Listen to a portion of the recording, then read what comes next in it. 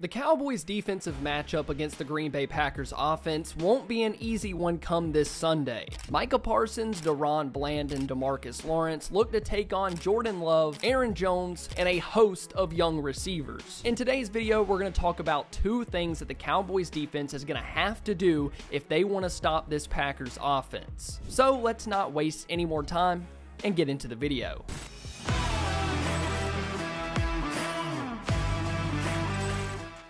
Stop the run. Aaron Jones has been known to be a Cowboys killer. In his three career games against Dallas, Jones has racked up 62 carries for 370 yards, averaging 123 yards per game. That is 6 yards per carry for 6 touchdowns. In 2019, when the Cowboys lost to the Packers, Jones had 4 rushing touchdowns on the day. Now, that 2019 Cowboys defense and this one in 2023 are very different. In 2019, that team finished 8 and 8. Rod Marinelli was the defensive coordinator. Jaylon Smith and Sean Lee were your linebackers, with Chidobe Awuzie and Byron Jones as your corners. This in 2023 is a completely different unit outside of Demarcus Lawrence, Jourdan Lewis, and Donovan Wilson. But this Packers offense isn't the same one you saw either in 2019. No Aaron Rodgers this time around or Davante Adams, but they still have Aaron Jones Jones, who has missed some time this season with an injury,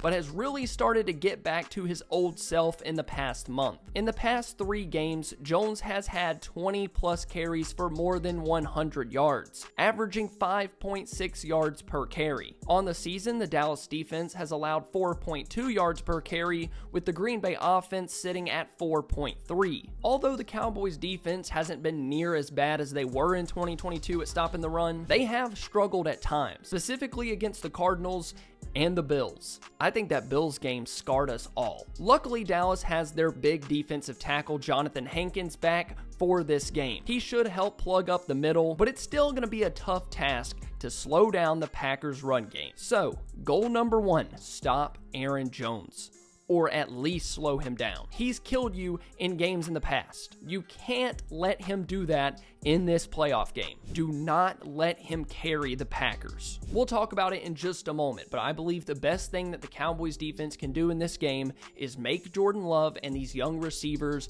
beat you consistently. Yes, they can make plays. Jordan Love can make good to great throws. We'll talk about it more in just a moment, but if you can't slow down this Packers run game, it gets a whole lot harder to stop Jordan Love and these receivers. Please don't let them pick up five to six yards per attempt and get to second and third and short. Because if you do, it's going to be a really long day and it's going to be extremely hard to get off the field so your offense can get out there and work. Force them to face off against Micah Parsons and company, holding them to two to three yards per carry, make them convert in third and long situations. That's where we've seen the Cowboys defense beat teams down all year. It's hard to hold up against this pass rush when it's third and nine, third and 10, and they're going to have to do it in this game too. Limit the big plays. Stopping the run should be priority 1A.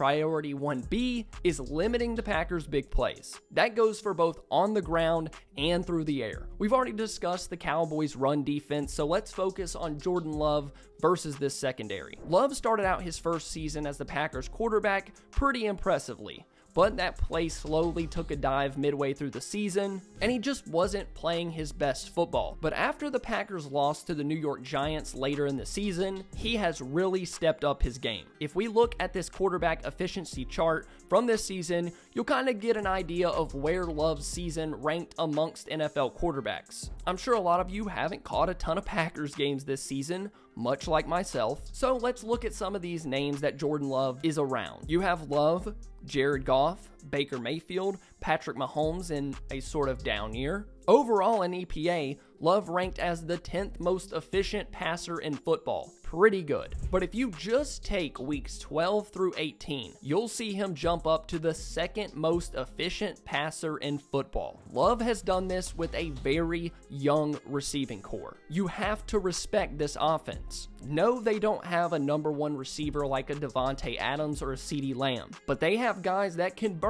you at inopportune times if you're not ready for it. Any guy on the field could be getting the ball at any time. There's no true number one receiver that you have to worry about. The main thing I think about with a young receiving corps is confidence. You cannot let this group get a 40 to 50 yard gainer to give them confidence in this game.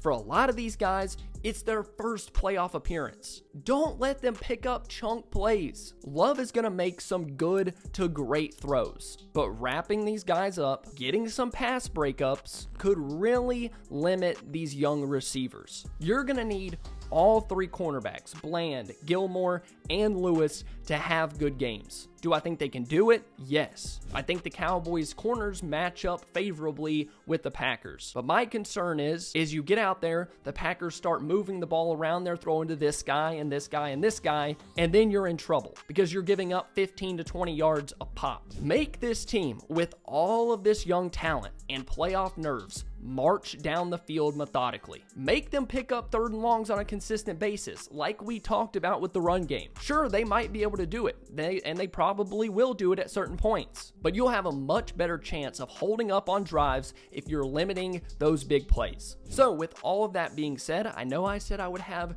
three videos out this week, but you know, life happened. So, in this video, we're to get to my score prediction, which is 33 24 Cowboys get the win. I Think the Cowboys defense gets beat at times. I think this is a close first half. I also think that the Cowboys defensive line gets after Jordan Love, makes him a bit uncomfortable. And then we slowly see the Cowboys pull away midway through the third quarter into the fourth. Mainly because I think the Dallas offense is going to smoke this Green Bay secondary. So if you want to see me talk about that, click on this video right here that just popped up on your screen. Dak Prescott and CeeDee Lamb are going to torch these guys. I'll see you guys over there.